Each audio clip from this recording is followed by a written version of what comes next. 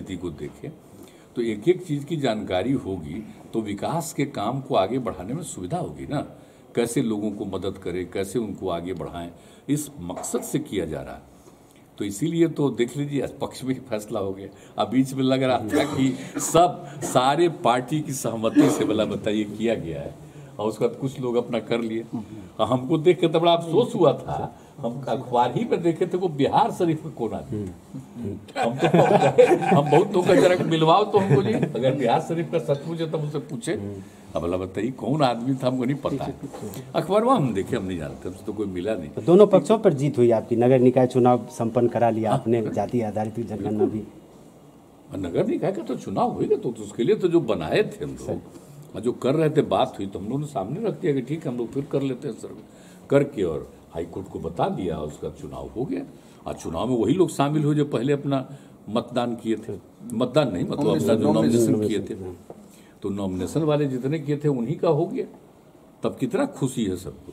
किसी तरह का दिक्कत आई जो बीच में दिक्कत आई तो सब काम हम लोग करा करके उन लोगों को दे दिए मौका।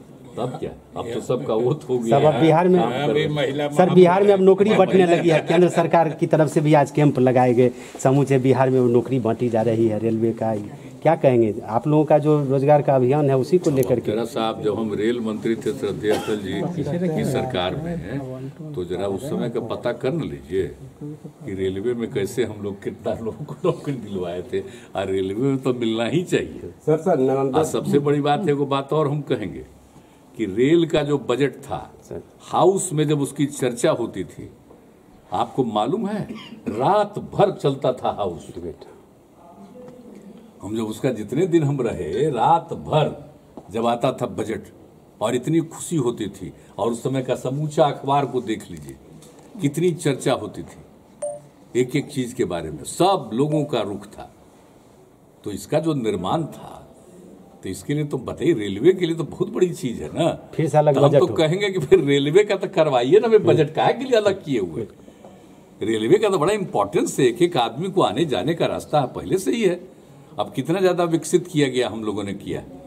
श्रद्धेय अटल जी की सरकार में जब हमको दोबारा बनाए हमने कहा वो स्वीकार की और एक एक चीज़ को उसके बाद जो विकसित किया गया। अब इसके बाद आगे तो और बढ़ाना ही आबादी भी बढ़ गई और ज़्यादा बन जाए। खूब अच्छा हो जाए एक एक चीज़ हो जाए वो अच्छी चीज़ है। और बहाली तो होनी ही चाहिए। बहाली तो होनी ही चाहिए। लेकिन हाँ हम तो चाहेंगे कि भाई फिर कम से कम सर दायरे में सर बजट